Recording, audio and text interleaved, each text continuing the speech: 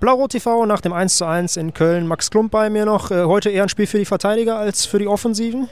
Ja, es gegen zweite Mannschaften generell so. Der Fall, dass sie sehr gut äh, spielen können, dass sie spielerisch sehr gute Akzente setzen. Aber haben wir gut gemacht, bis auf einmal. Aber das ist okay, das passiert. Also zufrieden mit dem 1:1?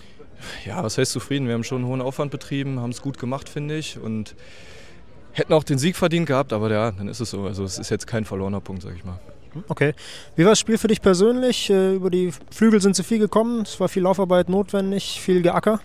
Ja, war zu erwarten, aber es ist auch mein Spiel, also war okay, mag ich.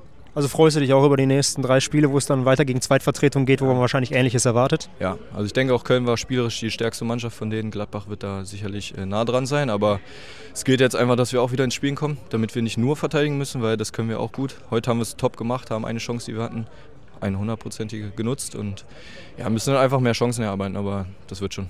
Gut, danke dir. Ich danke euch. Schönes Wochenende.